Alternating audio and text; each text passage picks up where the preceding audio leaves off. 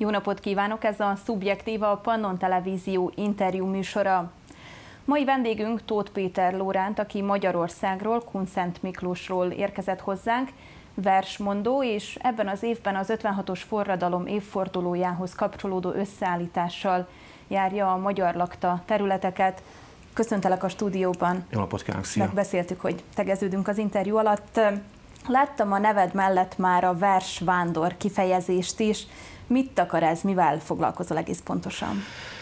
Hát tulajdonképpen azzal foglalkozom most már eh, második eh, tanév óta, hogy eh, a magyar irodalom legszebb verseit, illetve azokat a költőket, akiket vagy jobban, vagy kevésbé ismernek a gyerekek, az ő életükből összeállított rendhagyó irodalomórákat viszem a, a Kárpát-medencébe. Tavaly 150 határon túli iskolába jutottam így el, Fölvidék, Kárpátalja, Erdély, Vajdaság és, és Drávaszög iskoláiba. Idén pedig 65 határon túli településre fogok menni, ebből 60 Kárpát-medence és 5 kanadai előadás, és ahogy mondtad az elején, ez most az 1956-os eseményekről fog szólni. Melyik versek, melyik szerzők tartoznak ide szerinted? Hát most én az 56-os műsort úgy állítottam össze, hogy ja, azt tapasztaltam, illetve kollégákkal beszéltem korábban, hogy nem igazán anyag történelem órán még az 56. Nem jutnak el 56-ig a, a gyerekek, főleg a határon túl iskolákba, még, még nem tananyag. Éppen ezért azt nem úsztam meg, hogy valamilyen szinten ne beszéljek nekik az eseményekről, viszont azt gondolom, hogy ezeket az eseményeket, illetve az eseményekről való előadást versekkel és prózai betétekkel lehet igazán erősíteni, és ezért szerepelnek I. és Gyula versei, eh, Adi Endre, Radnóti Miklós, illetve eh, Márai Sándor versei ebben az előadásban. Tehát akkor jól értem, eh, nem csak versek, illetve prózarészletek vannak az előadásban, hanem egyfajta összekötő történelemóra. Igen, ez. tulajdonképpen ez egy, egy történelmi és egy irodalomóra is egyben valóban, igen. A történelmi részt is te készíted el, vagy pedig ez akkor valamilyen segítséggel, szakmai segítséggel? Hát most én, én alapvetőleg testnevelés és történelem szakos tanár vagyok. És emiatt tapasztalatom is volt abban, amikor én otthon tanítottam, hogy, hogy ez az 56-os történet és az 56-os események, tehát inkább távolságot tartanak a gyerekek ezzel kapcsolatban, mint, mint sem könnyen befogadnák.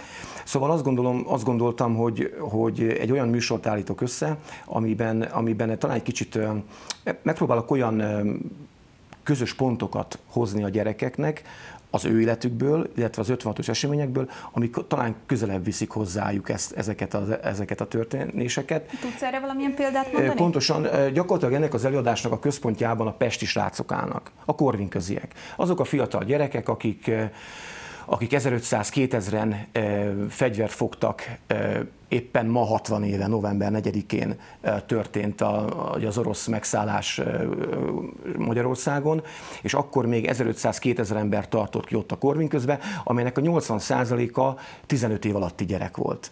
És akkor a gyerekekkel beszélgetünk arról egy kicsit ilyen interaktív módon is, hogy, hogy mi vitte oda ezeket a gyerekeket, hogy mit jelent ma a szabadság fogalma, mit jelentett akkor, vagy mit jelentett akkor olyan, olyan élethelyzetben élni, amikor, amikor nem volt annyi lehetőségük az akkori fiataloknak, mint most. Szóval ilyen, ilyen közös pontokat próbálok találni benne. Mindenhol ugyanazok a közös pontok, vagy ugyanúgy néz ki egy előadás, vagy pedig alakítanod kell, hogy most épp Vajdaságban jársz, vagy, vagy más magyar lakterületen? Hát tulajdonképpen a, az előadásnak a, az alapkoncepciója az mindenhol ugyanaz. Itt két dolog szokott történni. Egyrészt alakítja a közönség, és a, a közönségnek a, a reakciói, válaszai, hogy éppen hol, mibe megyünk jobban bele, milyen mélységebe megyünk bele az előadásba. Illetve amit szerettem volna, az, hogy a, ha mondjuk fölvidéken járok, vagy akkor mondjuk Vajdaságba, egy kicsit egy pár percben beszélni a helyi 56-os vonatkozású történetekről. És akkor egy kicsit ez mindig más, mert ugye más Kárpátalján, más Erdélybe, más itt szól, ez, ez ami egy kicsit másképp jelenik meg a, a különböző országokban. 65 helyszínt Igen. említettél, ugye hol tart most?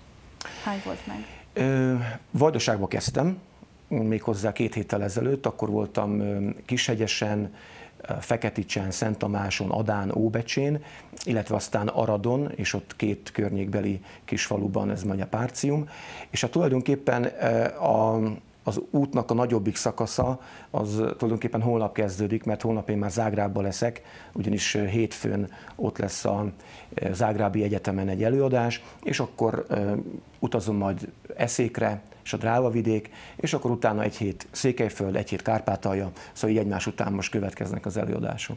Hogyan válogatod össze a helyszíneket? Hát ezt tulajdonképpen, a, amíg én tanít, tanárként dolgoztam, én 12 évig tanítottam Kunszent Miklóson, és tulajdonképpen a 30-as éveim elején jött vissza a versmondás az életembe, és akkor elkezdtem sokat járni Kárpátalján, meg Vajdaságban. És ott alakultak olyan szakmai és baráti kapcsolatok, amelyekre ezeket már föl tudtam fűzni. Tehát tulajdonképpen ezeknek ez az alapja. Illetve például Erdélybe úgy sikerült eljutni, hogy egy néptánc táborban találkoztunk ottani kollégákkal, akik aztán elhívták az előadást, és Erdélybe pedig tulajdonképpen kézről kézre adtak, hogy így, így mondjam, mert amikor ott Csíkszeredában voltak az első előadások, akkor utána aztán ezt meghallották, és akkor kérték, hogy lehessen továbbvinni a csiki falvakba, és akkor szépen egymás után alakultak ezek a dolgok. Hogy néz ez ki, mennyi időt töltesz el például egy régióban, egy-egy településen? Hát ez megint csak változó.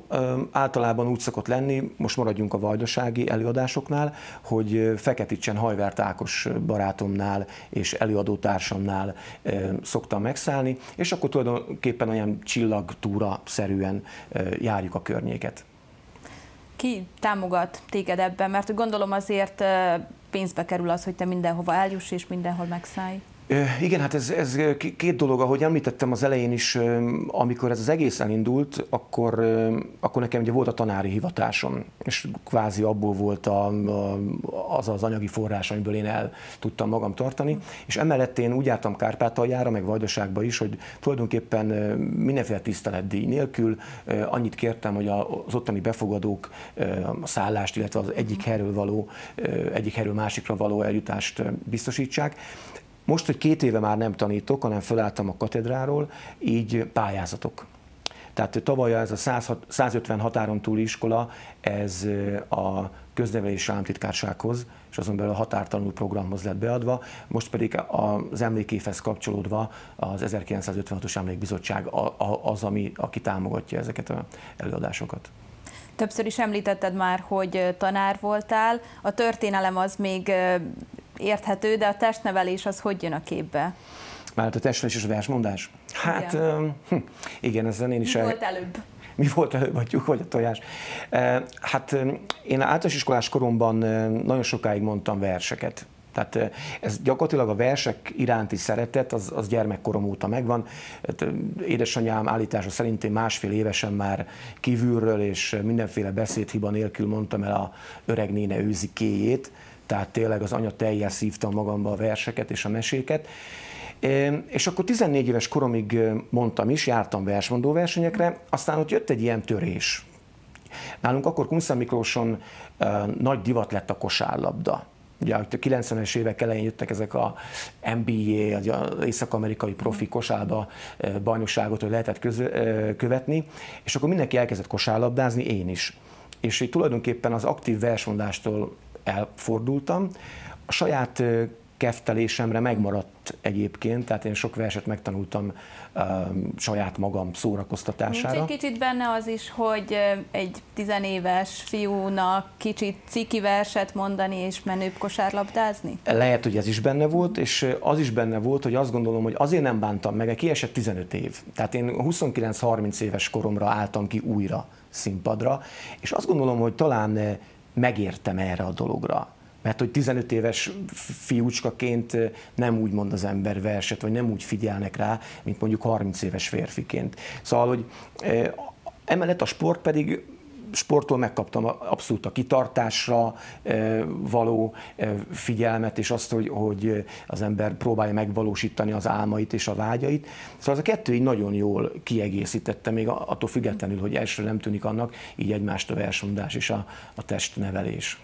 Megmaradt még a sport, a testmozgás? Most arra gondolok, hogy szoktál-e például verset ismételgetni, tudom is én futás vagy edzés hát, na, a számból vetett ki a szót, nem, abszolút, tehát ez, ez egy gyakorlási forma. Tehát amikor megtanulok egy anyagot, és már ben van a fejembe, akkor abszolút ez így szokott lenni, és én nagyon sokat járok futni is, mindig elviszem magammal a futócipőt, és amikor bizony épp az aktuális előadásra készülök, akkor futás közben mormolom folyamatosan át a szövegeket, és így is próbálom elraktározni magamba, igen.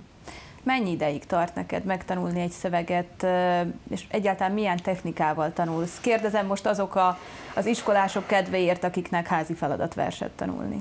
Hát igen, e, kimondtad a kulcsszót, hogy házi feladat. Szóval én annyiból szerencsés vagyok, hogy én azt a verset tanulom meg, amelyiket meg szeretném tanulni. Na most az iskolás gyerek nem mindig azt a verset tanulja meg, és azért itt ilyenkor már eldől minden mert amit nem szeretne, meg nem akar, azt úgyse fogja megtanulni, vagy nem úgy fogja megtanulni.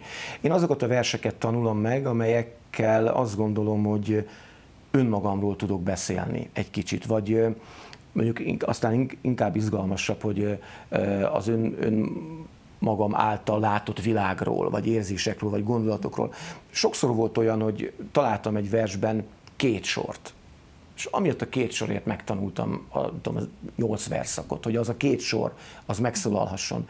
De visszatérve a kérdésre, hát én a legegyszerűbb módon, tehát leülök, előveszem a szöveget, és egymás után folyamatosan ö, olvasom, húzom a strigulákat, hogy hányszor mondtam el, és akkor egy ilyen 10-15 folyamatos átmondás után szoktam váltani egy következő versre, és ilyen 5-6 verssel szoktam így dolgozni. Párhuzamosan tanulod? Igen, párhuzamosan. Igen, és akkor utána pedig, hát ahogy jön befelé, egyre inkább úgy, úgy váltok aztán át a következő szövegekre. Megmaradnak a versek, vagy elfelejtődnek egy Az az igazság, hogy hál' Istennek megmaradnak. Tehát az, az a tapasztalatom, hogy, hogy nyilván nincs összehasonlítási alapom, hogy ki mennyi idő alatt tanul meg egy szöveget, de az biztos, hogy amit, amit megtanulok, az, az bent marad, az megmarad. Irigyellek ezért. Említetted, hogy azt a verset tanulod meg szívesen, ami, ami hozzád kötődik. Vannak kedvenc költőid, íróid, vagy kedvenc témáid? Hát kedvenc költőm, illetve talán, hogy is mondjam, aki, akivel, mert tehát amikor egy előadást összeállítok, akkor, akkor mindenképpen fontos az számomra, hogy, hogy a közönségnek, akinek én ezt el fogom adni, elő fogom adni, ő mennyire tud erre rákapcsolódni. És aki nekem abszolút ilyen, az, az két ember, József Attila és Radnóti Miklós. Ugye József Attila azért, mert hihetetlen mély szegénységből, árvaságból jött, és kicsi pici korától kezdve eldöntötte azt, hogy ő ebből megpróbál kitörni. És ugye ő erre a, a, a tanulást és, és az olvasást választja, és, és gyerekkorától kezdve eldönti, hogy ő költő lesz.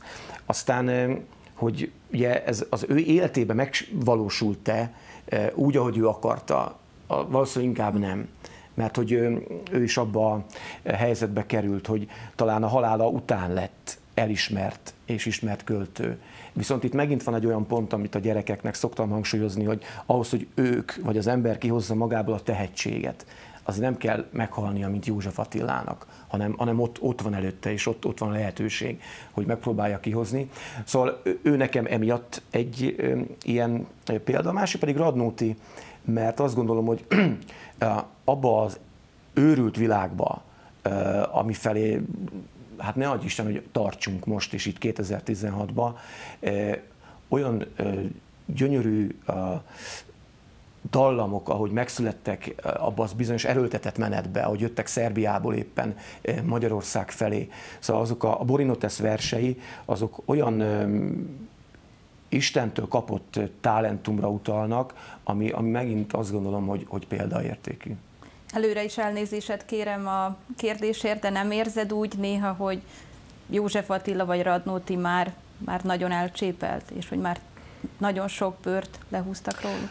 Olykorban éltem én a földön, mikor az ember úgy elaljasult, hogy önként kéjjel ölt, nem csak parancsra. És míg balhitekben hitt, stajtékzott téveteg, befonták életét vadkényszer képzetek. Olykorban éltem én a földön, mikor besúgni érdem volt és a gyilkos, a rabló, az áruló volt a hős. És ki néma volt netán, és csak lelkesedni rest, már azt is gyűlölték, akár a pestisest. Radnóti, töredék. Tehát, hogy, hogy azt gondolom, hogy azok a versek, amelyeket ők megírtak 80-100 évvel ezelőtt, sajnos, hogy, hogy aktuálisak. És bizony azokra a dolgokra hívják fel a figyelmünket, amelyeket mindig elfelejt az ember. Ez az egymás felé odafigyelés, az egymás elfogadása, a, a, a, az ön, az ön szeretet, vagy a másik szeretet, és azt gondolom, hogy József Attila és Radnót is bizony olyan verseket írt, amelyek, amelyek mai napig aktuálisak. Gyerekeknek lehet ilyen verseket mondani, megértik ezeket a verseket, mert azért nagyon komoly témák. Azt gondolom, hogy, hogy igen. Én például a tiszta szívvel el szoktam nekik mondani háromszor, háromféleképpen. És akkor beszélgetünk róla, hogy miért, miért állja meg a helyét a, a lázadó stílusú tiszta szívvel. Miért állja meg a helyét a, az, az agresszív és ez a dű kitöréssel elmondott vers, illetve a, a, az önmagába forduló szomorú verzió. És akkor mindig megtaláljuk azt, hogy tulajdonképpen hát ők is így élnek már, mint a mai gyerekek. Lázadnak, megpróbálnak kitörni, hangot adni a önmaguknak és a szavaiknak, és hát bizony önmagukba is fordulnak és szomorúak. Szóval lényeg az, hogy azt gondolom, hogy, hogy, hogy rengeteg közös pont van a, a gyerekek és ezek között a klasszikus versek között. Csak hát meg kell találni a pontokat, meg rá kell egy kicsit érezni. És akkor utána ez megy, megy tovább. Én, én szerencsésnek érzem magam abból a szempontból is, hogy hogy tanárként erre van, van eszközöm, meg rálátásom. Tehát so, én sokkal, azt gondolom, sokkal egyszerűbb nekem a helyzetem, mint mondjuk egy színésznek, amikor kiáll gyerekek elé, és ő próbál meg úgy kapcsolatot teremteni, mint én tanárként, aki, aki versmondóként is van ott éppen a katedrán. Kortárs versekkel hogy állsz? Hát, kortárs versek Rossz. Szórakoztató rosszul. versek, a nyelvi játék, nem? Még nem ezek, fel? találok köztük persze egy-egy olyat, ami, ami, ami számomra is tetszik, persze ez nem mérvadó, most nekem tetszik vagy nem, mert ugye a versek és a versmondás abszolút egy szubjektív dolog, és egy abszolút nagy szabadságot ad emiatt. Még nem igazán találtam, de most, hogyha azt mondom, hogy Juhász Ferenc, aki ugye nem rég halt meg, vagy mondjuk Kányádi Sándor, hát tulajdonképpen mivel itt vannak köztünk, ők is kortársak. Mégis azért... Nem rájuk gondoltam. Persze, tehát igen, mert ugye nyilván ők is 80 évesek. Nem tudom, el kéne biztos, hogy jobban mélyednem bennük, és egy kicsit jobban oda fordulni, ez egy hiányosságom, hogy igyekszem pótolni ezt, még egyelőre a klasszikusoknál tartok. Még néhány szóban beszéljünk a tervekről. Mondtad, hogy ez az 56-os körút, ez még jócskán tart. Ha jól olvastam, akkor egy Márton Áron emlékműsorral is készülsz. Igen, Márton Áron ugye erdélyi püspöke, aki tulajdonképpen végigélte az egész 20. századot, és tulajdonképpen a romániai kommunista elnyomásban, illetve az első-második világháború szörnyűségeiben is egy, egy olyan ember tudott maradni, egy ember katedrális, ahogy I. és Gyula nevezi, akinek azt hiszem, az élete példaértékű. Ez az előadás, ez egyrészt Mártonáron életrajzát mutatja be, Püspök úrnak rendkívül izgalmas élete volt, és emellett pedig a kortás erdélyi költők, Gida, Reményik, Vasalbert, Kányádi Sándor versei tartoznak ebbe az előadásba. Ennek december 9-én lesz a bemutatója egyébként Torockón, a Dunaházba, és hogyha már a jövőt kérdezted, akkor 2017-ben lesz 200 év, hogy megszületett Arany János, és ugye Arany János emlékév lesz, és hát erre is készülök, illetve, és itt visszatérve az előző kérdésedre, egy kicsit könnyedebb anyaggal, hogy így mondjam, a bolondistókból szeretnénk összerakni egy ilyen monodráma-szerű előadást. Már egy verssel itt így rögtönözve megörvendeztetted a nézőket. Én most arra kérlek, hogy még egy verset, amit te választasz, mondj el itt az interjú végén. Önöknek pedig köszönöm a figyelmet, Szubjektív című interjú műsorunkat látták, a vershez, illetve a műsorunk folytatásához jó szórakozást kívánok!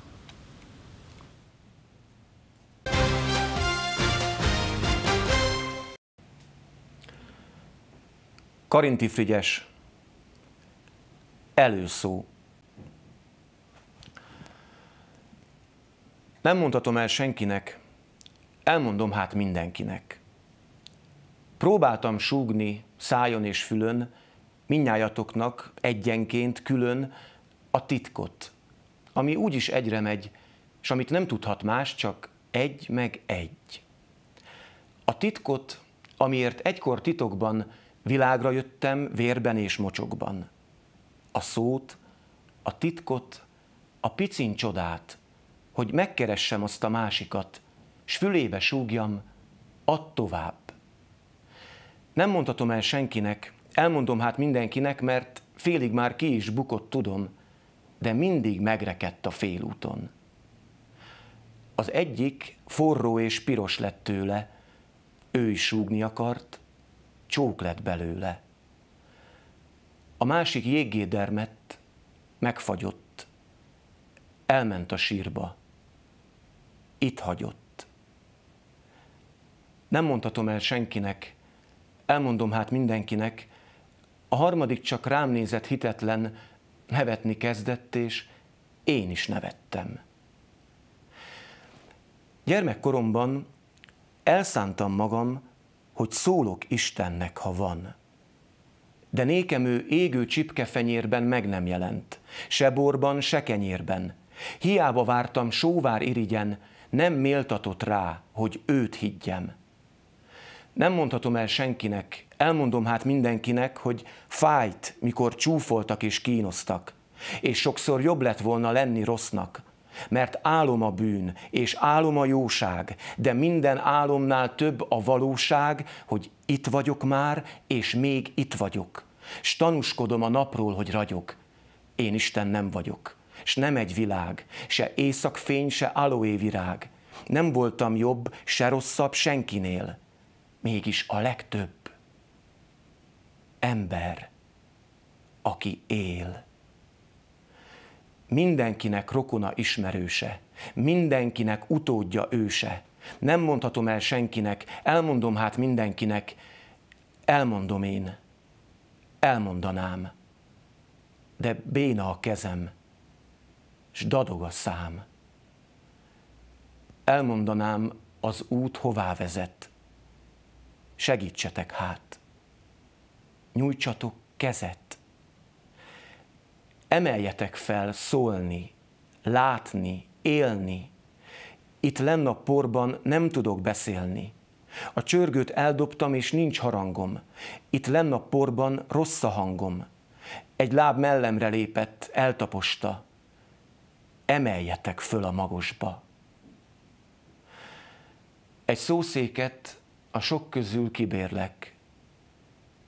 Engedjetek fel lépcsőjére kérlek.